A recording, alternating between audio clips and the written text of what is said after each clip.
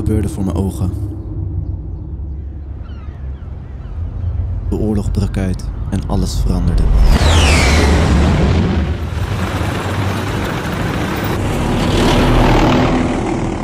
We moesten de stad verlaten waar we zoveel jaren de baas waren geweest.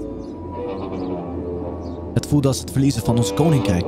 De stad waar we opgroeiden, waar we de regels maakten, was niet langer van ons. Met onze wapens in de hand begonnen we onze reis naar een andere stad. We wisten niet wat de toekomst zou brengen, maar we waren vastbesloten om ons weer een plek te veroveren in de onderwereld.